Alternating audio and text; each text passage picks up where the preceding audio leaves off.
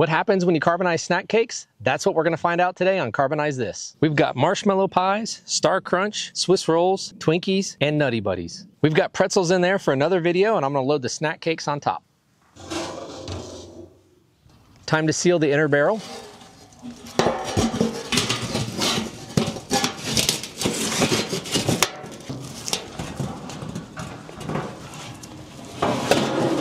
Next up is to load the wood between the two barrels. We got the wood loaded up to the top and now it's time to light it. Fire's going good. We're gonna go ahead and put the chimney on, let it run for several hours, and then we'll check it out in the morning.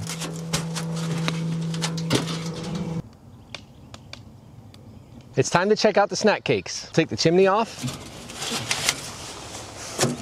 and we'll take the inner barrel out.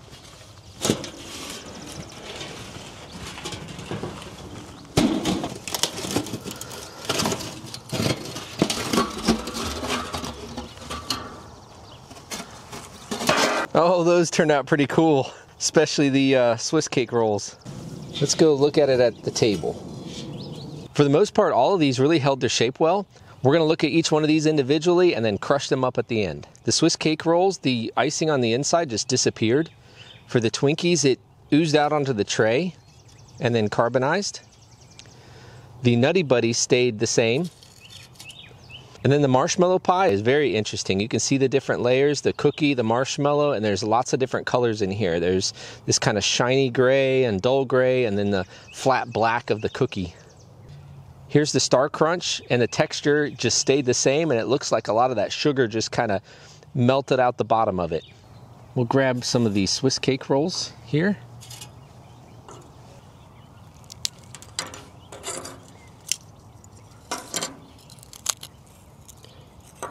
We'll just break this one up.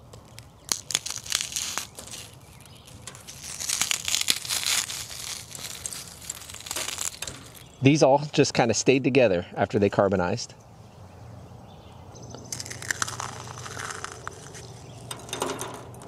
I'm gonna see if I can take some of this Star Crunch away from the marshmallow pie. You can see the texture from the rice that's in it and then little flakes of like a silver color, almost looks like mica or glitter. So now I'm gonna crush this up.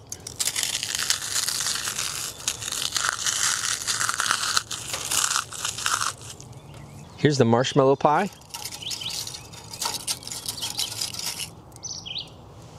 So there's a little bit of the uh, cookie that's on the inside of it, and then this is all marshmallow fluff. Let's look at this half of the marshmallow pie. Okay, they're connected. I'm gonna break this off right here. There we go. What's cool with this piece is you can really see the cookie here, and then this is the marshmallow that oozed out. This stayed like a flat black, while the marshmallow turned like a silvery color and, and is very glossy. The rest of the marshmallow pie, so here's the top cookie once again, and you can see the holes that are in it. And then this is where the marshmallow squeezed out. Let's flip it over. Looks like a little bit of the cookie there. Yeah, so you can see the layers here. You got cookie, marshmallow, cookie. I'm gonna try to break these two layers apart, uh, but they probably fuse together with the marshmallow. Uh, you can get a little bit apart. The cookie is nice and porous right there also. Time to break the marshmallow pie up.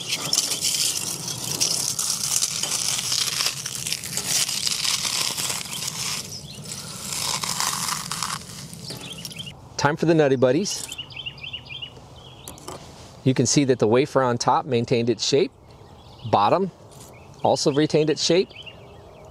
The sugary filling on the inside oozed out here, and that's where you see this glossy color. We're gonna take this small piece off, and we're gonna try to break these in half and see if we can see the layers. Can't really make them out, but you can see the sugar here little shiny parts. Oh, here's a good shot of the layers. See if we can get that top layer off. Yeah, you can actually pull this one apart a little bit.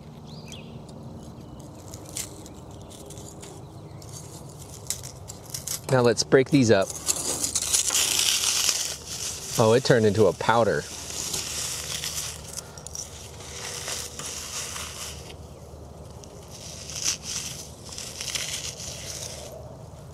On these two parts of the Twinkie, you could see where the cream came out the side, but this one, the cream looks like it came out the holes in the bottom of the Twinkie.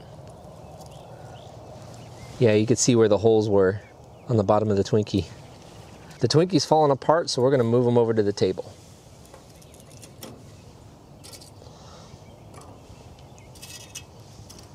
Here's the Twinkie we cut in half ahead of time. You can see the cake layer here and then where the frosting oozed out. So we're gonna crush these two.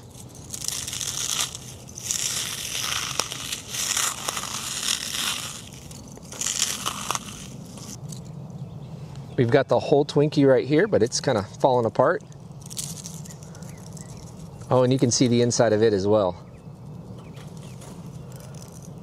And now we'll break this piece up.